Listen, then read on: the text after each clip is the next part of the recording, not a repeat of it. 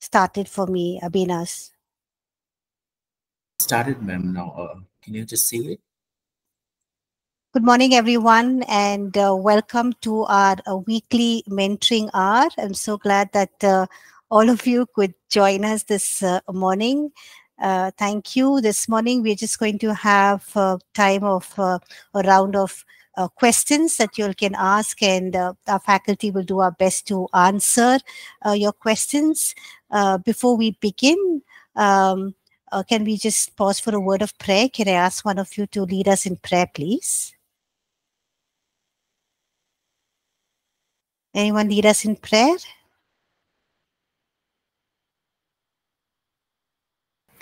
Let us pray. Heavenly Father, we just thank you once again for this hour of mentoring. And we pray, Father, that as the leaders through your word, Father, that we will be able to apply whatever we're learning, Father, in our study, Father. And we pray that we'll be able to apply the same in our lives. We also pray for a blessing upon our entire faculty and a blessing upon all our students here the Bible College. In Jesus' precious name we pray. Amen. Amen. Thank you, Sanjay. Uh, so this morning, uh, time is open for each one of you to um, ask your questions. Your questions can be related to anything that you're being studying in your courses or uh, questions related to uh, the Bible, your quiet time, uh, you know, what you've been reading, studying during your uh, uh, devotions, daily meditations. It can also be questions uh, related to life and ministry. so Uh, please feel free to post your questions in the chat section. And our faculty is here and we'll do our best to uh, answer your questions.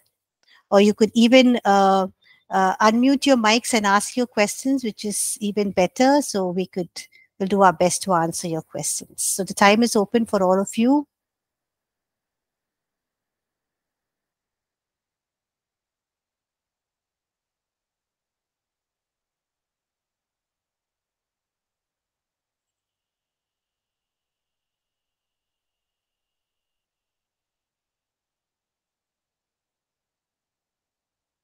Any questions anyone has?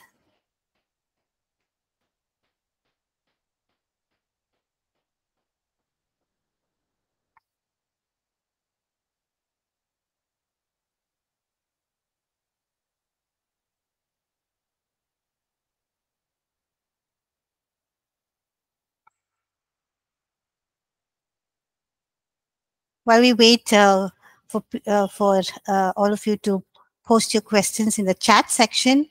Uh, you know, we've all, uh, we're nearing uh, the end of our uh, uh, semester. Uh, so any of you like to share your learning experiences, what you enjoyed, anything new that you learned, any new insights? How has your semester been? What has your experience been at All People's uh, Bible College? Anyone likes to share?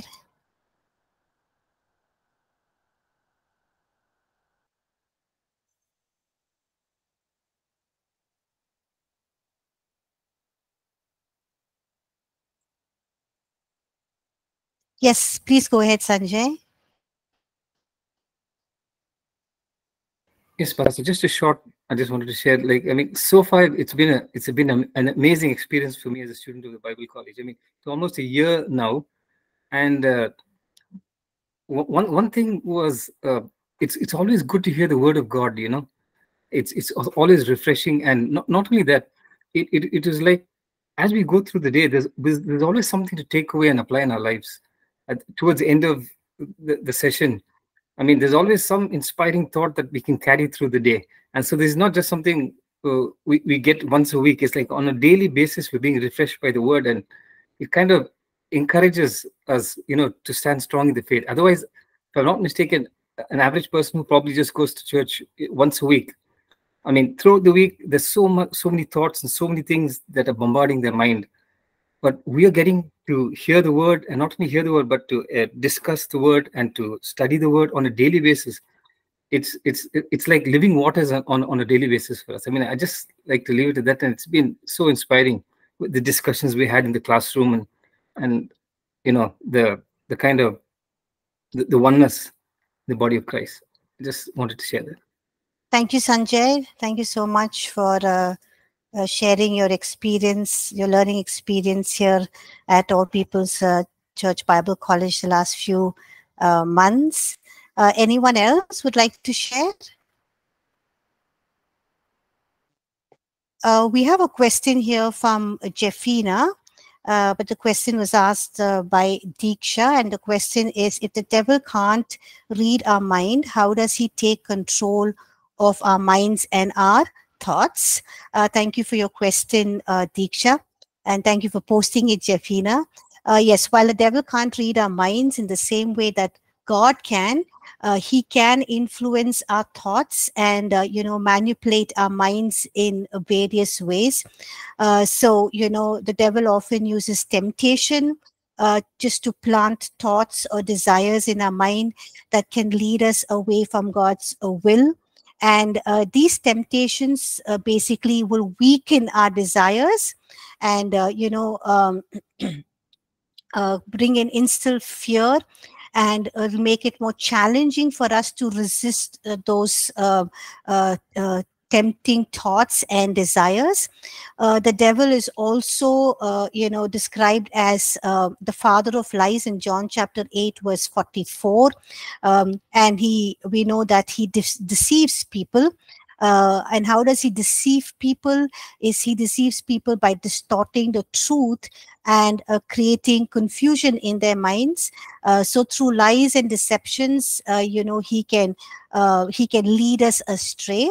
Uh, the devil can also spiritually attack us.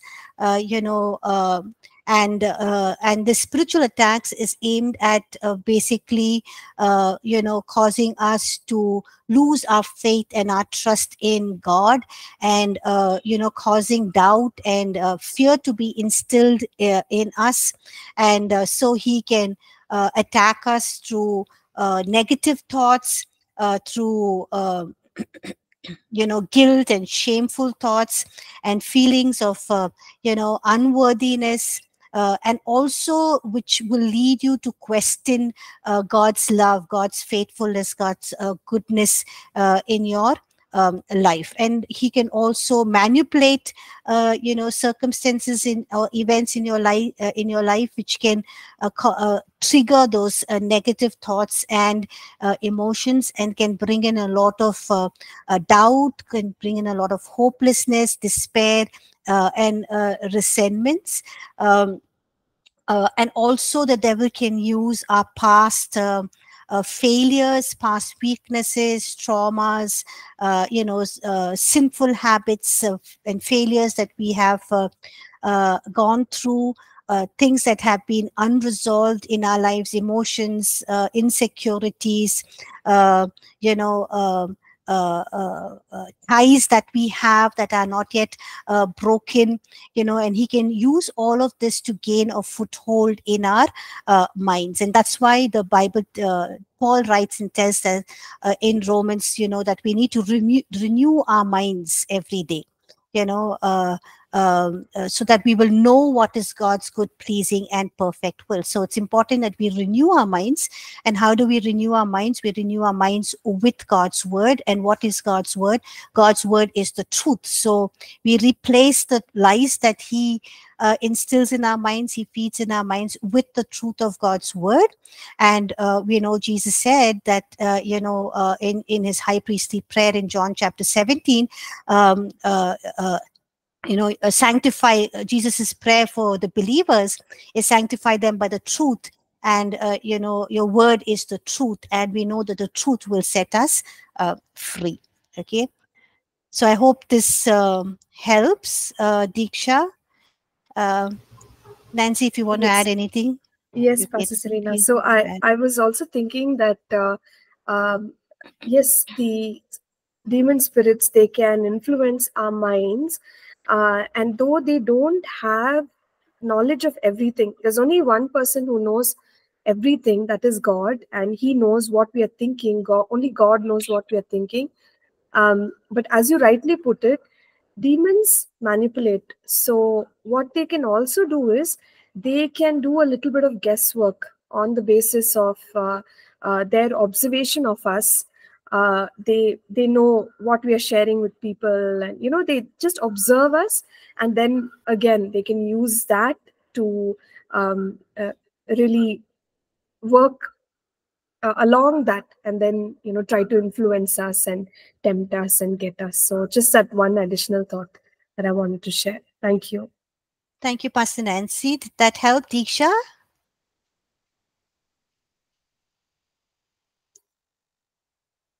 nancy you have to help me with the chat if there are any questions please. Yes yes just sending it across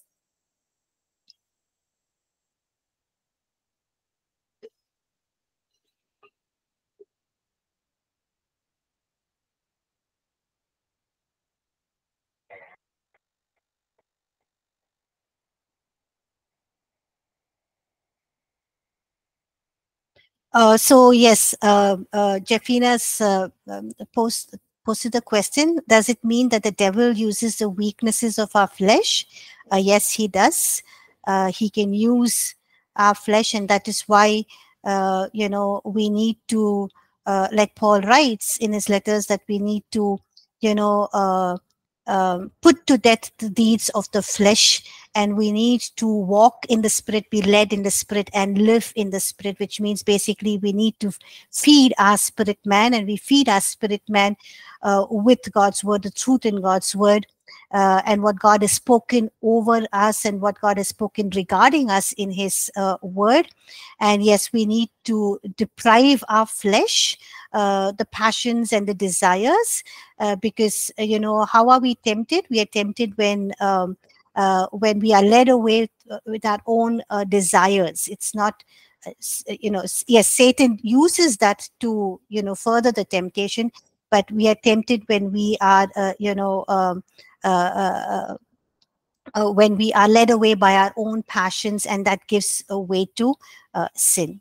Yes. Did that help?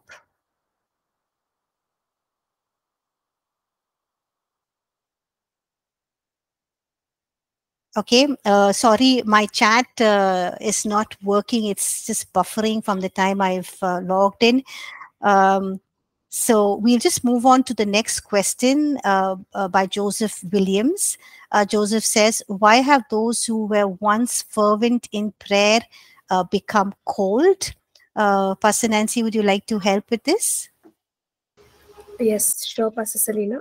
So uh, there can be many reasons why somebody who is so strong in their prayer life now suddenly is you know, finding it hard. and I, I can think of reasons like uh, delay when we are waiting on the Lord and fulfillment has not yet come.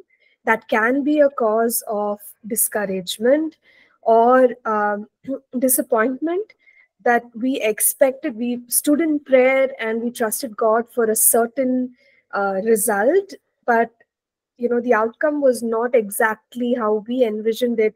So uh, one could be facing disappointment so that also can can you know uh, bring a person down and uh, maybe they're not so fervent in prayer anymore. Uh, and i think uh, the other thing is to just ha- not have a uh, like a strong personal devotion. So when we don't spend time in the word when we don't spend time praying in the spirit or we don't spend time in prayer in general what also happens is you know the fire that we could uh, that we carry for the lord can kind of uh, become dull. So these are the three main reasons that i can think of.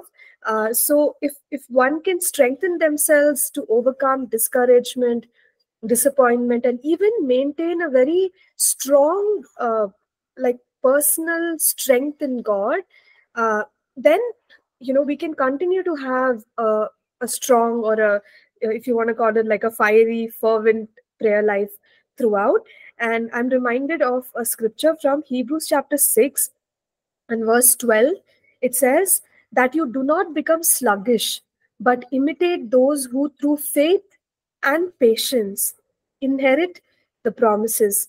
So the writer of the Hebrews, he's saying, don't become weak, um, you know, in God. Or in other words, you know, he's using sluggish. Don't become sluggish, slow, weak. Instead of that, be like those who have received God's promises. But what did they employ? Two things. We need faith and we need a lot of patience. Okay. So faith and patience both are required. If we don't have both of these, um, you know, we may find ourselves, you know, uh, fainting time to time. And uh, as long as we we keep ourselves strong in God and overcome disappointment, discouragement, uh, our prayer life can remain, you know, powerful and fervent. I, I hope that helps. Thank you. I hope that helps, uh, Joseph. Just like to uh, thank you, Pastor Nancy. Uh, just like to add that, uh, you know, there are also external factors such as stress, uh, you know, uh, busyness in life, trials uh, that can distract us from prayer, that can eat into our prayer time. so it can be challenging to, you know, focus on prayer, to keep, you know, that time uh, specifically to for prayer because we are so engaged with the things of the world. It can be our job, it can be our life, it can be the busyness of this uh, uh, life.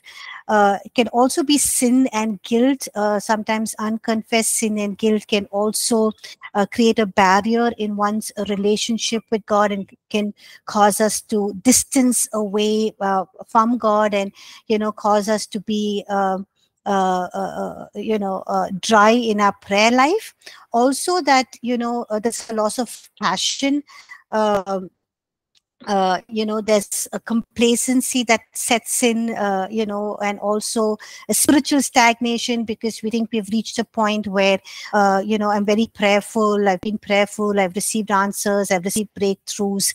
Uh, so there can be even a kind of a spiritual uh, uh, complacency lethargy stagnation.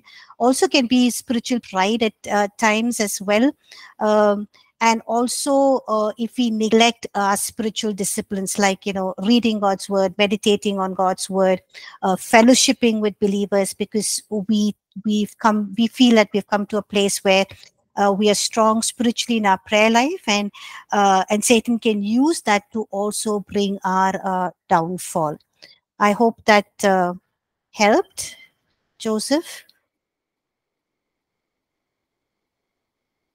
Uh, yes, Pastor Selena, he says thank you. Okay. Sorry uh, about the uh, chat section that's not working. Okay. Uh, anyway, we'll move on. Um, uh, Shiv Kumar's question is Can a believer watch movies and other entertainment programs? Well uh, uh, uh, the scripture passage that comes to my mind is first corinthians chapter 10 verse 23 where it says you know i have a right to do anything uh, you, uh, you, say, but not everything is beneficial. I have the right to do anything, but not everything is constructive.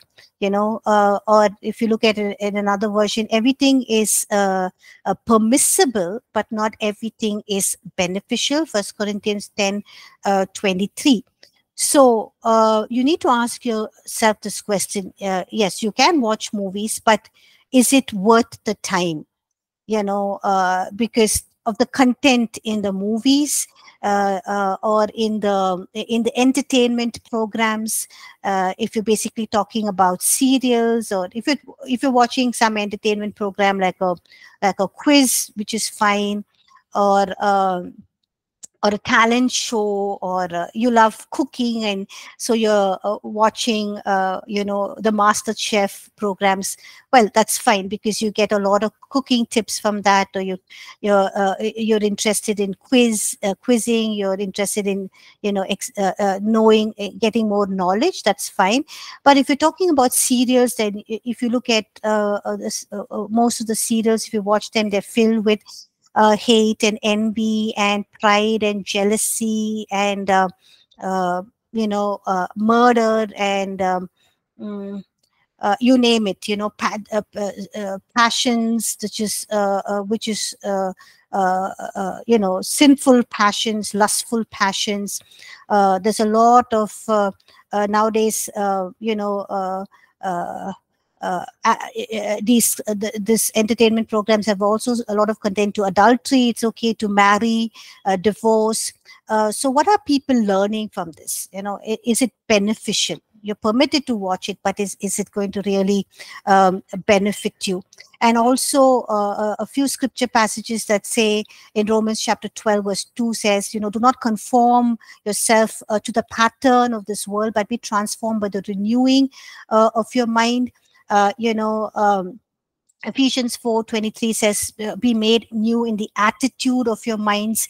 So, if all of these, uh, you know, content or movies that you're watching is, uh, you know, uh, going to instill lustful, sinful passions and desires, uh, you know, then because it's going to be this content is going to be stored in your subconscious mind. It's going to come out when you are uh, you know just lying down or your mind is uh, at rest. Uh, you can you can see yourself you know uh, engaging in in those lustful thoughts because you've been watching that kind of content and um, uh, Philippians chapter 4, verse 8, uh, uh, uh, Paul writes and says, finally, brothers or sisters, you know, whatever is true, right, noble, pure, lovely, admirable, excellent, praiseworthy, think about such things. So if you have to think about such things, you have to watch such things, read uh, such things.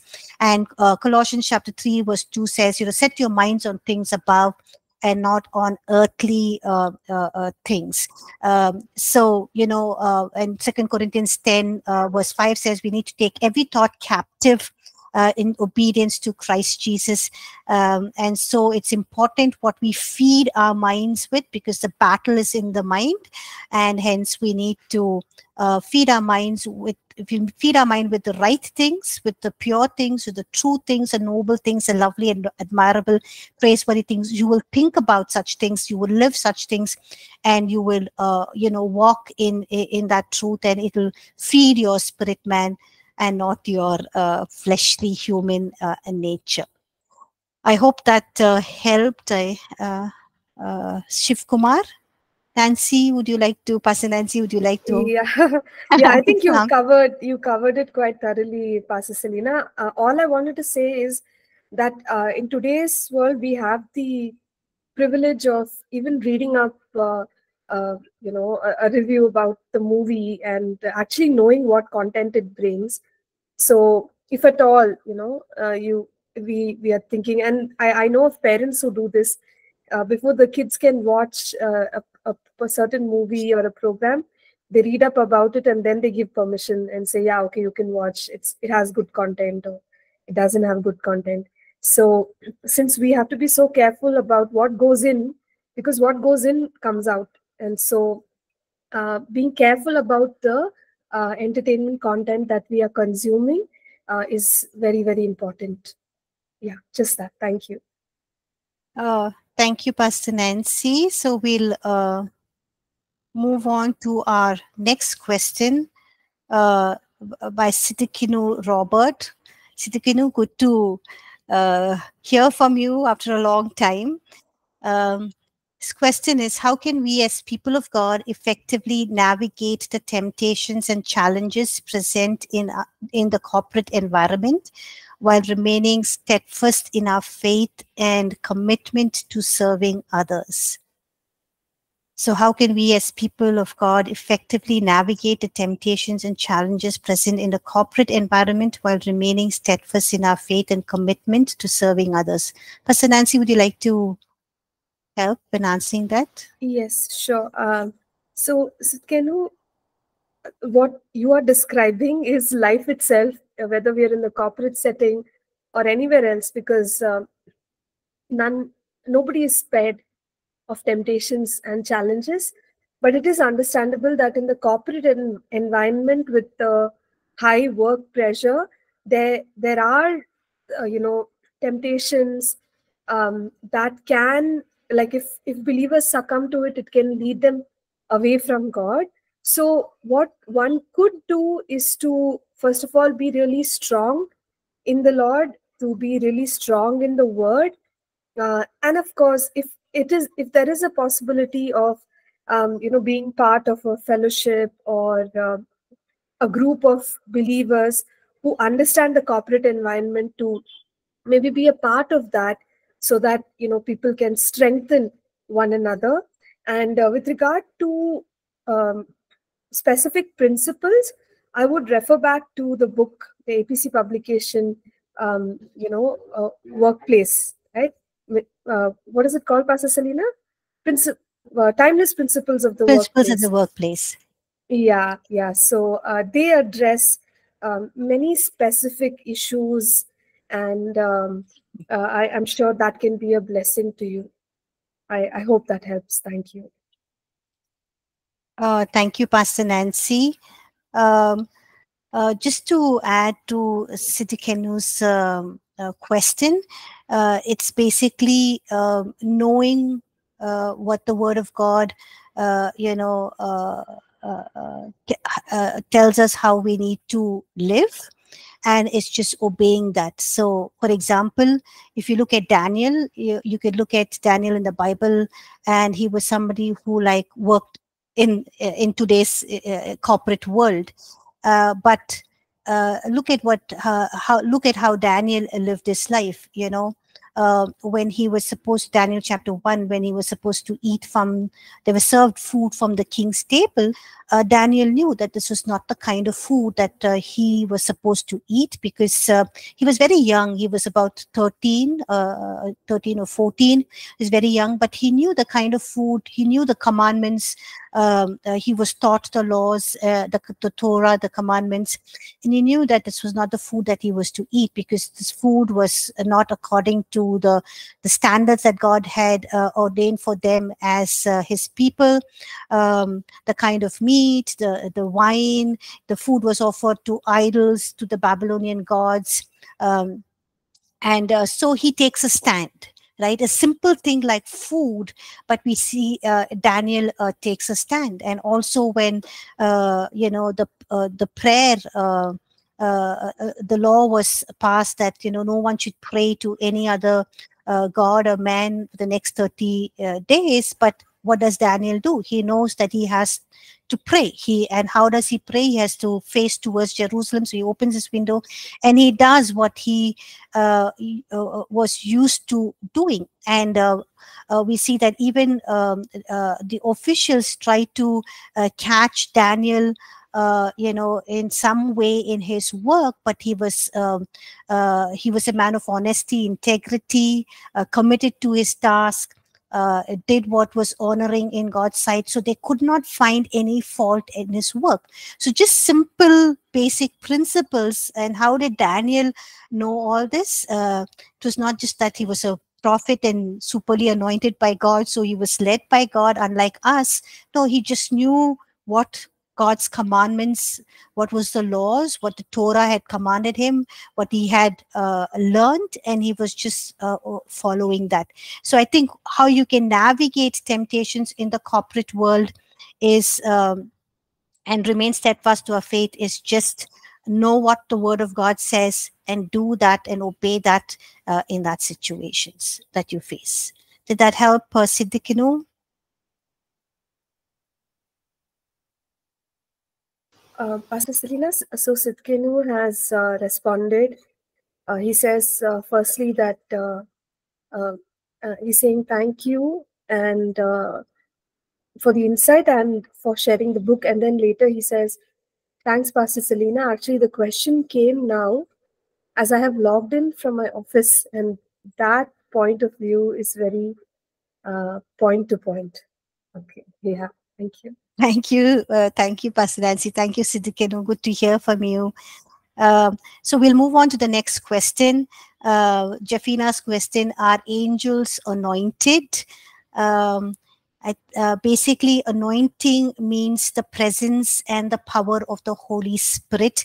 Uh, so, um, uh, uh, uh, yes, in the Bible, uh, the concept of angels being anointed with oil as humans were uh, you know, in some contexts is not explicitly mentioned in the Bible. Um, you know but uh, anointing is uh, explicitly mentioned in the bible when it comes to uh, individuals uh, you know uh, who are ordained by god to do specific roles or are called into specific offices such as prophets priests and kings in the old testament Uh, so angels being spiritual beings uh, do not go the same undergo the same uh, rituals or ordinations as we humans do. Uh, but yes, uh, angels are ordained by God. They're messengers, agents, uh, agents of God uh, to carry out His will and purpose. Uh, and I don't think they need anointing the same way as we humans do, because we need the anointing. anointing basically means the presence and the power of the Holy Spirit. So I um, just sharing what I know. Pastor Nancy, would you like to add?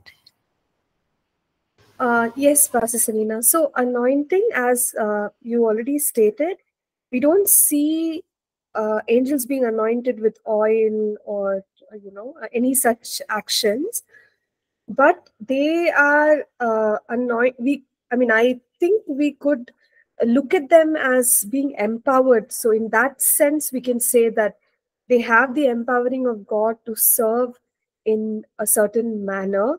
Uh, now, I don't know if we can exactly use the term anointed for that, but they are empowered by God. Yes, thank you. Thank you. Uh, so I hope that um, helped.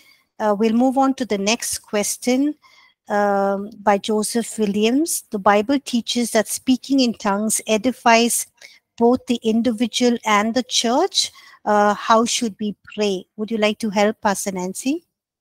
Yes, I can. But I think we missed a question from Komal. So Komal had a question before that. However, we can okay. address uh, Joseph's and then come back to Komal. Uh, please let me know if you got that question. No, uh, I don't have that question. You don't just, have that question. No. Okay. Yeah. Just a moment. Let me send it yeah. to you.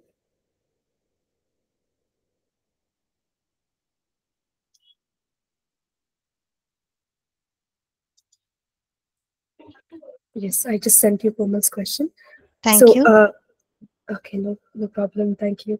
Uh, so uh, Joseph says the Bible teaches that speaking in tongues edifies. How should we pray?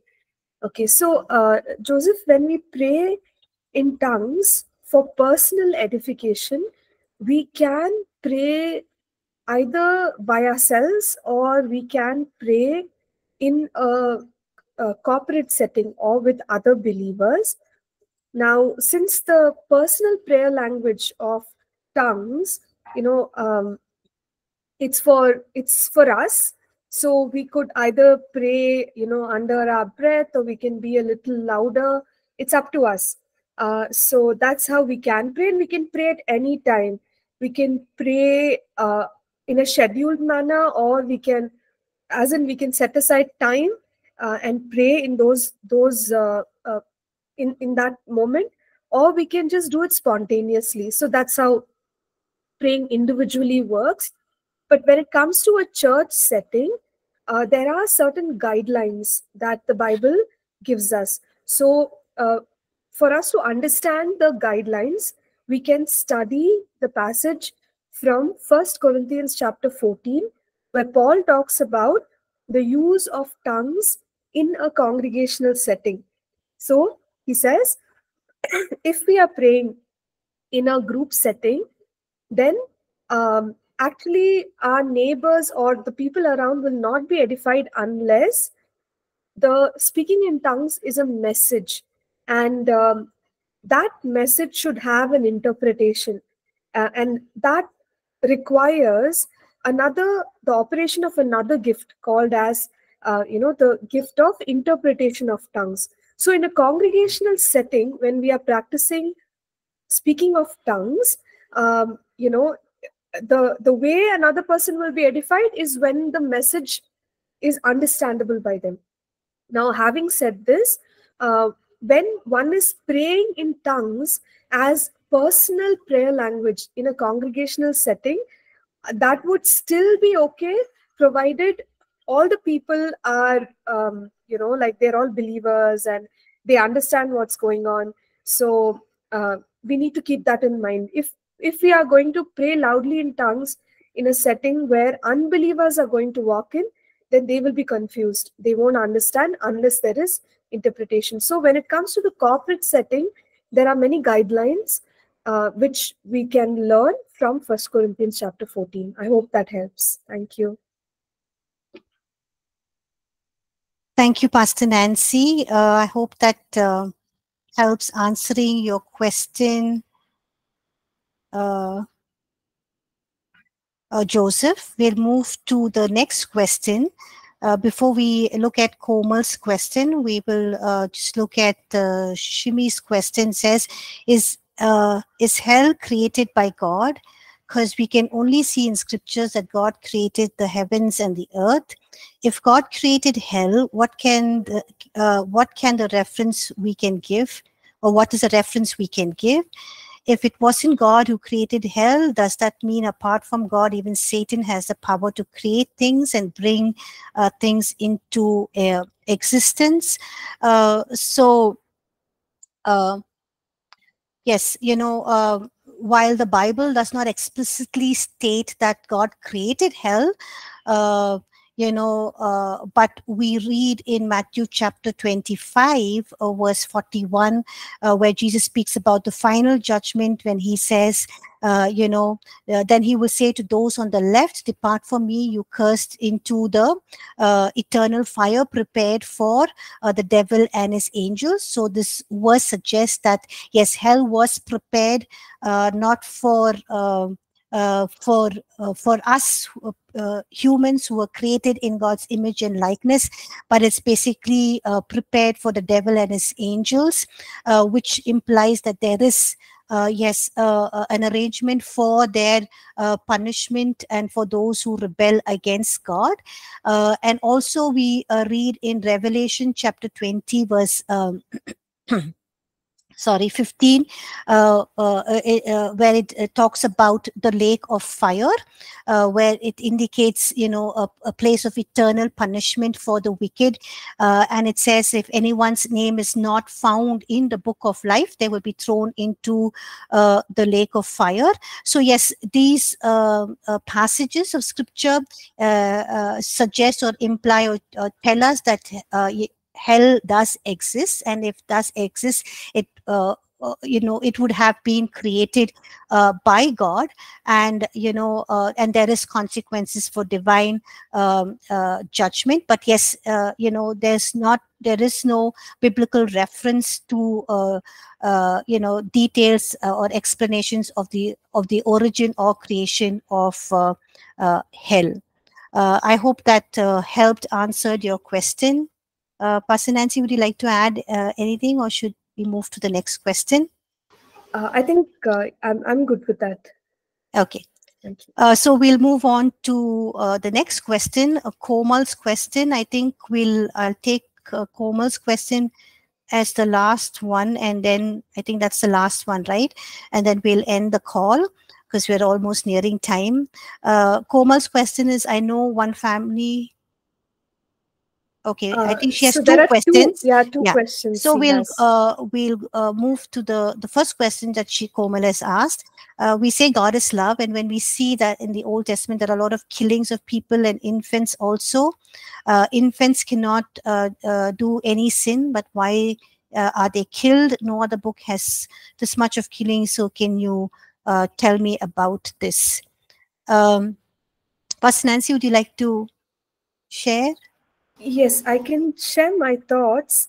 Yes. Um, so we do know that God is a God of love, but when we whole, whole understand His nature in whole, we recognize that He's also a God of justice, and uh, which is why when sin corrupted the world, there needed to be a sacrifice made for redemption to take place. And so, knowing that God is both a God of love and justice, we notice, uh, particularly in the Old Testament, before Jesus uh, had, you know, uh, done his work, that there are many divine judgments that take place, uh, and this this is also because of you know sinfulness of the people and disobedience. And so, because of the actions, the wrong actions of people, there are all these divine judgments. Um, and uh, under which you know we see things like people being killed or infants also being killed. So um, you know that that's how we look at it. Now we can definitely ask the question why didn't god stop it if he's a god of love? But you know as we are saying that there are things that are um, there are laws that are in the world that are set right? So even god had to work out a plan and we know that he's a god of love because jesus came and he he made a, a restitution for such things. Now that we have uh, the lord jesus and ha- having putting our faith in him releases grace and forgiveness on our lives uh, that is something that you know we can preach about. And uh, yeah so that is like in a short way uh, because we have we have only one minute left. I hand yeah. it back to you pastor anymore Thank you, Pastor Nancy. Just like to add two thoughts that when uh, Adam and Eve sinned, sin corrupted not only them, but sin passed on to the generations right up to us and will pass on to the preceding generations or the coming generations. Second thing, also sin corrupted the entire creation that God created perfect. And that's why paul says that you know creation uh, uh, writes in the book of romans that creation groans uh, you know uh, for its uh, to be reinstated to its original design and uh, position. But why children god is a god of love. He's also god of justice and mercy. But exodus chapter 20 verses 5 and 6 says that you know god says that i'm a i'm a jealous god punishing the children for the sins of their parents to the third and fourth generation of those who hate me but showing love to a thousand generations of those who love me and keep my uh, commandments. So God is very clear in what He has stated in His commandments uh, that He's a God who punishes uh, the children for the sins of their parents, the third and fourth generation, but also shows love to a thousand uh, generations. So that is who God is. But yes, He's a God of love. He shows mercy as well. Uh, so uh, uh, through this, people can at least learn that there is consequences of sin and the consequences of sin is death and they would not take God for uh, granted. Uh, we'll stop here. We don't have time to answer Komal's um, uh, question, the uh, other question. Uh, we have that question with us and we will answer that in the uh, in our next mentoring hour and also Lucy's um, uh, question. So we'll answer these two questions the next mentoring hour. Thank you all for joining the mentoring hour and for your questions. It was very interesting and I hope you all enjoyed this mentoring hour. Um, have a blessed day and God bless. Thank you.